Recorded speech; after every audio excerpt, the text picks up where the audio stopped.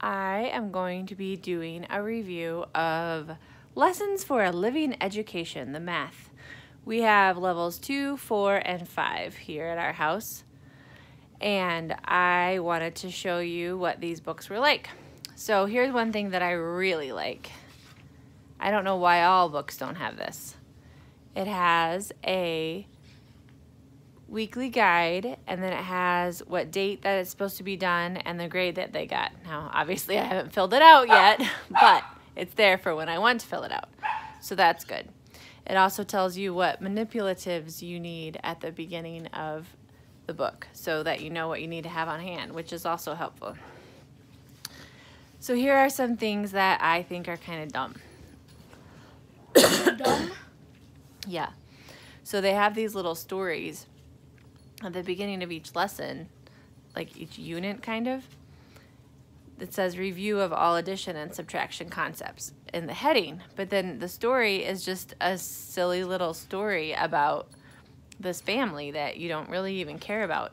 And the family is featured in all of the books, but if you don't have level three, for instance, which we don't, then I think you miss some stuff because sometimes the stories don't even really make that much sense.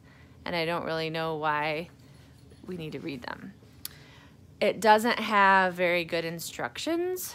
So, for example, we were working on rounding today and it just says round and estimate. All right, so we did that, but it doesn't tell you, okay, definitely round to the hundreds or round to the thousands or round to the tens. It just says round and estimate. So I consider that to be a downfall.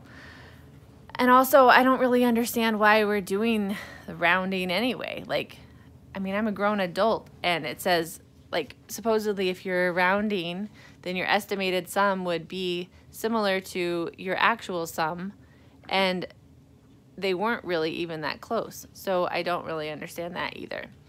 Um, I do like the font that they use for the numbers. I think this is really helpful, especially for my sons who have dyslexia. I like that it's a nice and big and that the numbers are easy to read. That helps them a lot. So that's a really good thing. I like how there are lots of number problem, or I mean word problems.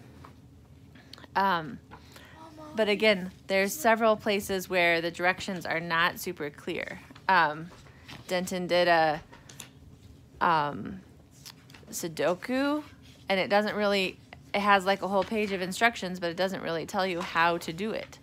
So there's a lot of guesswork. And then it also has other things like, um, here's the answer key at the back. So that's good.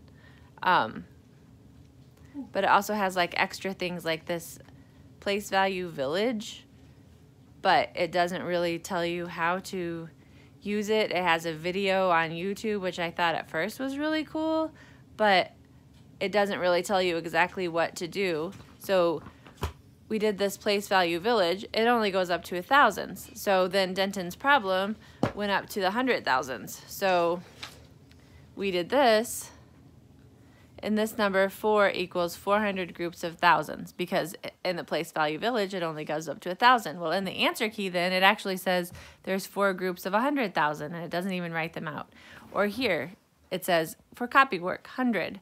So he wrote 100 and then I was like well I think that it means that you're supposed to write out the number but it doesn't actually tell you which one you're supposed to do. So there's a, just a lot of clarification that I think is missing. I think that it's good practice. I think that the math itself is fine. Um, as a solid whole curriculum, though, if you're not doing um, supplementary activities where you're practicing math facts and multiplication tables um, and practicing their addition and subtraction, I don't think that it's enough for them to really learn it all. They have the exercises are short which is a good thing. For instance, um, this is all that they expect you to do for one day, just these five problems, which I don't feel like that's really enough. Um, but it works because it's something to start off from, and we can start at this certain place, and then um, we can do more than that. So that's good. So. So anyway, I think that this is a it's an inexpensive book. I think that it's worthwhile to purchase. I I do like the way that it's laid out. it has some gaps. I think Saxon is a much more thorough um, math curriculum if that's all you're going to do. We do practice our math facts in other ways than just these workbooks. So for us, um, it really is okay. But also, we really like the animals on the front.